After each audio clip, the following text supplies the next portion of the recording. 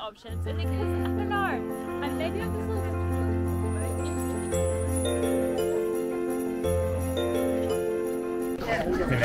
इसे देखकर मुझे वो पुराना गाना याद आ रहा है। वो कहते थे ना बाहरों फूल बरसाओ मेरा महबूब आया और ये गाना बिल्कुल इसी सिचुएशन मुझे देखकर आपको क्या लगता है मैं कहाँ पे हूँ? जापान में?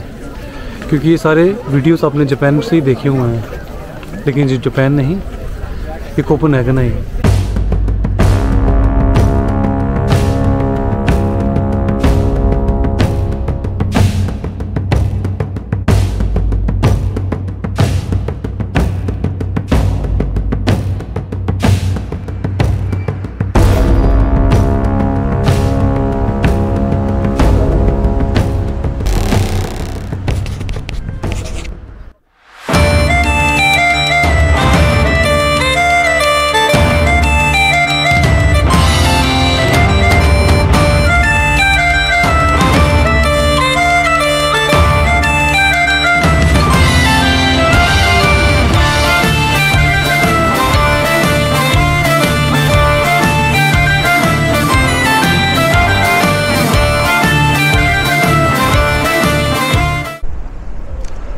हेलो माय यूट्यूब फैमिली कैसे हैं आप सब लोग? मैं उम्मीद करता हूँ आप सब लोग अच्छे होंगे। आज मैं आपको लेके आया हूँ एक ऐसी जगह में, जो कोपनहेगन में सबसे ज़्यादा इस टाइम चर्चा में है। और ये चर्चा इसलिए है क्योंकि हर एक बंदा यहाँ पे आना चाहता है। और ये सिर्फ़ कुछ दिनों के लिए होता है। बाकी बाद में यहाँ पे कोई भी नहीं आता। जो आते हैं वो सिर्फ़, जो काफ़ी दुखी होते हैं, या जिनको कोई छोड़ के चला जाता है, वो यहाँ पे आते हैं। आप सम आप समझ गए होंगे मैं किस बारे में बात कर रहा हूँ। जी हाँ ये कब्रिस्तान है। और आप सोचेंगे, मैं कब्रिस्तान में क्यों लेके आ रहा हूँ आपको? लेकिन ये जब वहाँ पे जाएँगे, तब आपको मैं दिखाऊँगा। और इस टाइम ये हमारे ऑफ़िस में क्या, हर जगह कोपनैगन में हर एक बंदा यहाँ पे जाना चाहता है और आना चाहता है, ये देखना चाहता है। क्योंकि ये कुछ दिनों के लिए होता है, बाद में ये ख़त्म हो जाती है। चलो, ज़्यादा देर ना करते हुए मैं आपको वहाँ पे लेके चलता हूँ। लेकिन यहाँ से जाने के लिए हमें कुछ दूर थोड़ा सा चलना पड़ेगा। मैं आपको दिखाता हूँ, यहाँ से सिर्फ़ हमें, मुझे लगता है 500 मीटर दूर हमें यहाँ से चलना पड़ेगा। चलिए वहाँ पे चलते हैं, फिर आपको मैं दिखाता हूँ, मैं आपको क्या दिखा रहा हूँ।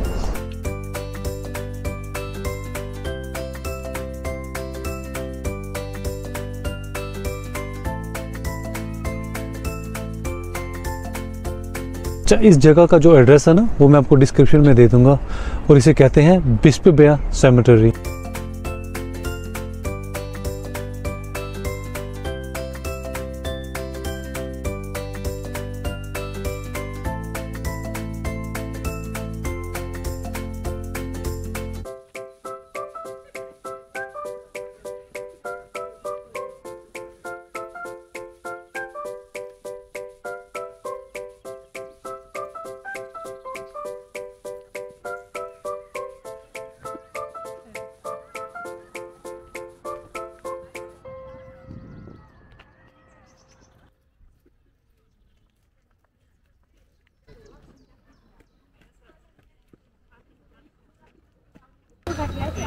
वहाँ पे कुछ लोग अपने शादी की फ़ोटोशूट करवा रहे हैं। ये देखिए।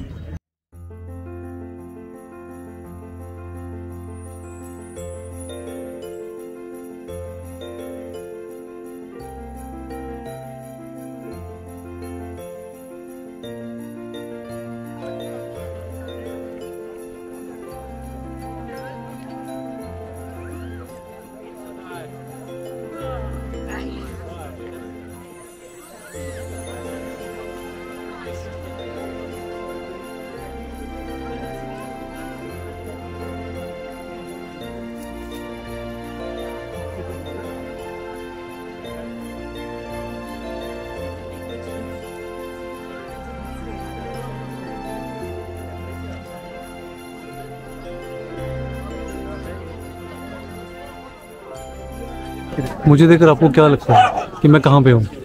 जापान में? क्योंकि जापान में ये सब कुछ नज़र आता है। लेकिन आपको मैं बता दूँ, मैं जापान में नहीं, डेनमार्क में हूँ। मेरे पीछे देखिए आप। ये सब कोपनहेगन में है। मेरे पीछे जो आप देख रहे हैं ना, ये कोई गार्डन नहीं है। ये एक सेमेटरी है। इस सेमेटरी में लोग आराम से सोए हुए हैं। लेकिन ये लोग देखने आए हुए हैं। इस चीज़ को जो साल में सिर्फ़ एक बार नज़र आती है। देखिए कितनी सुंदर लग रही है। ये देखिए। और ये कोपनहेगन का हिडन जेम है।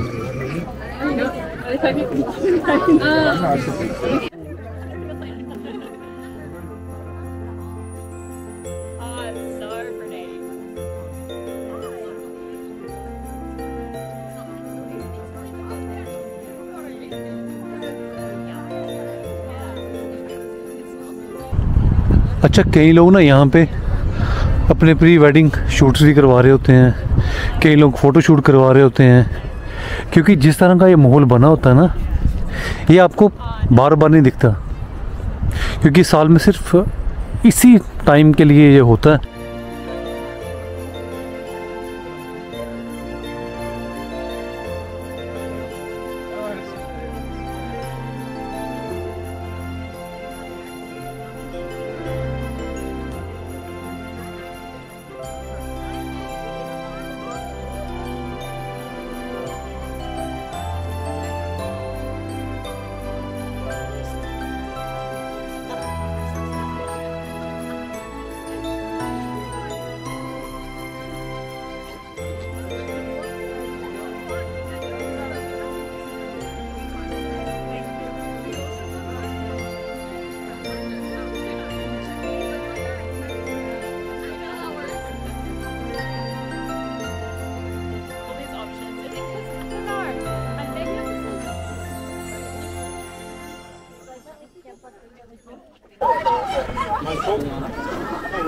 अगर आप डेनमार्क में प्लान कर रहे हैं आने का, अभी तो मैं आपको बता दूँ कि ये मस्ट विज़िट प्लेस है। आपको यहाँ पे ज़रूर आना चाहिए, ताकि आप ये देख सकें कि जापान के अलावा भी एक जगह ऐसी है प्लेस है। क्योंकि ये साल में बस एक ही बार चेरी ब्लॉसम आते हैं, और जो पूरा जो एरिया ना, ये वाला, आप देख देख लो। ये पूरा जो एरिया ये पूरा फूलों से भर जाता है. इसे देखकर मुझे वो पुराना गाना याद आ रहा है। वो कहते थे ना, बाहर हो फूल बरसाओ, मेरा महबूब आया और ये गाना बिल्कुल इसी सिचुएशन पे लगता है। और यहाँ पे लोग अपनी प्री वेडिंग फ़ोटो शूट भी करवा रहे हैं। क्या पुराने ज़माने में ये भी कहते थे ना कि कब्रिस्तानों में फूल नहीं खिलते, फूल चढ़ते हैं, लेकिन यहाँ पे ये उल्टा है। यहाँ पे फूल खिले हुए हैं।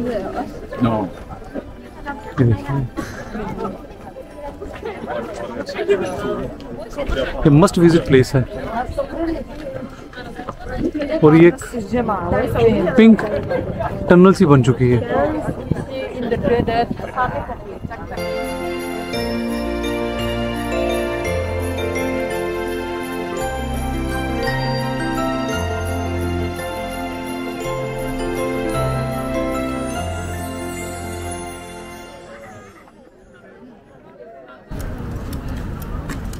इस साइन का मतलब है कि आपने यहाँ पे बैठना नहीं है। आराम नहीं करना है।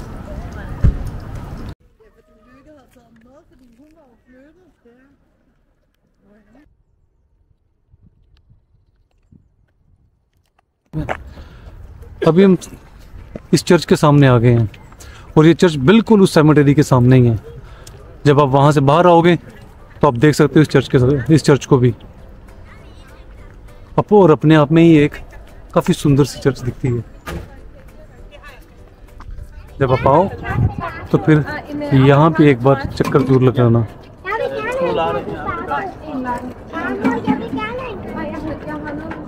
हम थोड़ा सा आगे चलते हैं और देखते हैं, अगर चर्च आज खुली हुई है तो उस चर्च में भी चलते हैं। उस चर्च को भी थोड़ा सा अंदर से देखते हैं कि अंदर से कैसी है। चलिए वहाँ पे चलते हैं।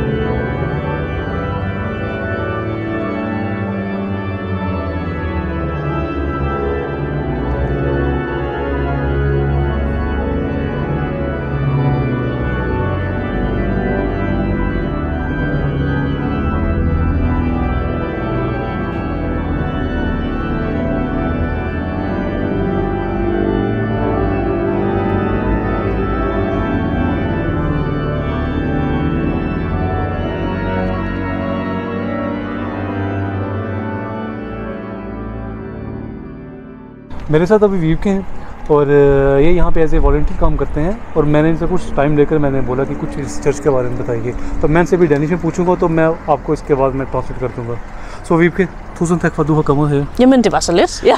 Altså, jeg vil godt høre, at øh, hvor gammel den her bygning, øh, og så denne kirke, altså, hvordan, hvordan er det? Det- Man startede med at bygge den i 1921, Ja, og så var kirken færdig i 1940. Og det var taget 19 år, så det var en ret... det er 19 nu, ja. Ja, ja, ja. Altså, jeg har også hørt, at øh, det var før, det var kun øh, et, et lille øh, område, det har bygget, efter det har bygget øh, Ja. senere, ikke? Det er rigtigt. Man startede med at bygge det, der hedder Tårnkirken. Ja. Øh, det kan man også se ind i kirken, at gulvet skifter farve Ja, på et ja, lige tidspunkt. præcis, lige præcis, ja. Øh, og Tårnkirken var færdig i 27, ja. Ja. og så byggede man så resten af kirken færdig imens, øh, Okay. men man kunne bruge den. Ja, Ja, ja. Altså, al- altså, altså nogen har en særlig tid, at man kommer her, eller man kan, øh, man kan komme bare, øh, som man har lyst. Altså kirken er faktisk åben på nær mandagen hver dag fra klokken 10 til 4. Okay. Øh, så man kan sagtens komme. Øh, altså i dag har vi adgang til tårnet, det har vi ikke normalt. Men der er cirka en gang om måneden, man kan komme på en rundvisning, hvor man Ja. også kan komme op i tårnet, hvis Ja. man gerne vil det. Altså, kan man læse ind i, ind i internet, eller, eller ind i internet, at hvornår det har åbnet, Ja. eller? Man kan gå ind på kirkens hjemmeside, og der kan man se, hvornår vi har de her rundvisninger, hvor man kan komme op i tårnet. Okay. Yes. सो ये will cut so मैं ये जो अभी जो अभी tower के ऊपर जाएंगे तो मैं बता दूंगा कि ये कब कब ओपन होता है आ, लेकिन वी आर हम थोड़े से अनलकी थे कि अभी ये हम लेट हो गए थे तो हम ऊपर नहीं जा सके लेकिन मैं आपको डिस्क्रिप्शन में दे दूँगा कि ये कब कब आप ऊपर जा सकते हो ठीक है? तो लेवलगर सी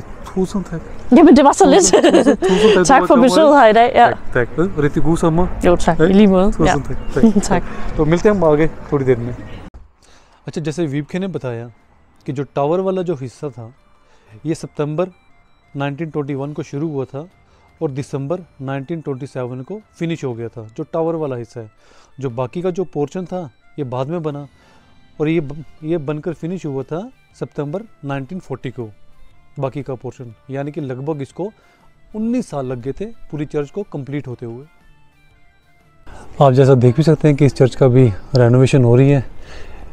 ये डैनिश लोग अपनी पुरानी जो बिल्डिंग्स होती हैं इनकी मेंटेनेंस काफ़ी अच्छी तरह से रखते हैं। और टाइम टू टाइम इसकी जो रेनोवेशन होती है, ये सिर्फ़ इसकी, इस चर्च की नहीं, इस बिल्डिंग की नहीं, और भी जितने भी इनके पुराने जो हिस्टोरिकल जो बिल्डिंग्स हैं, इनको काफ़ी अच्छी तरह से इसको, इनको मेंटेन रखते हैं। टाइम टू टाइम इनकी मेंटेनेंस होती रहती है। तभी तो ये बिल्डिंग आज भी नई की नहीं लगती है। आप देख सकते हैं यहाँ से। और इस बिल्डिंग की आर्किटेक्चर इस बिल्डिंग की जो फसाड है वो देखिए। तो आज आपने देखा, हम आज दो जगह गए थे। एक जो सेमेटरी जहाँ पे चेरी ब्लॉसम्स के जो फूल खिले हुए थे, आपने देखा वहाँ पे काफ़ी लोग आए हुए थे। कुछ लोग अपने प्री वेडिंग शूट करवा रहे थे और काफ़ी लोग आए हुए थे उस जगह को देखने के लिए, क्योंकि ये जगह काफ़ी ज़्यादा फ़ेमस है। तो जो टूरिस्ट हैं, उनको कुछ पता है तो वो हर साल यहाँ पे आते हैं स्पेशल इस इस टाइम में आते हैं। और मैं आपको हाईली रिकमेंड करूँगा कि अगर आप डेनमार्क डेनमार्क में आ रहे हैं और इस टाइम में आ रहे हैं तो आपको यहाँ पे ज़रूर आना चाहिए। जो इसका जो एड्रेस है, वो मैं डिस्क्रिप्शन में डाल दूँगा तो वहाँ पे आके देख लेना। और दूसरी जगह हम यहाँ पे आए थे इस चर्च में, और हमने देखा कि लोग यहाँ पे भी काफ़ी आए हुए थे। आफ्टर उस सेमेटरी के बाद लोग यहाँ पे आते हैं, क्योंकि ये ये चर्च भी काफ़ी पुरानी और काफ़ी फ़ेमस है। तो इस चर्च का अपना एक इतिहास है, और जो वीपके ने आपको बताया तो उसने भी आपकी काफ़ी जानकारी हमें दी कि ये चर्च कितनी पुरानी है और इस चर्च का जो अपना एक इतिहास है। तो ये जो टावर आप पीछे देख रहे हो, ये साल में कुछ टाइम के लिए खोलते हैं ताकि लोग ऊपर जा सकें, देख सकें पुरानी, पुराना इतिहास। तो आज का वीडियो हम यहीं पे ख़त्म करते हैं। मुझे आशा है कि आपको ये वीडियो अच्छा लगा हो। तो इस वीडियो को शेयर कीजिए, लाइक कीजिए और इस चैनल पे सब नए हैं तो उसे ज़रूर सब्सक्राइब कीजिए। तो जल्दी मिलते हैं अगले वीडियो में तब तक के लिए जय हिंद।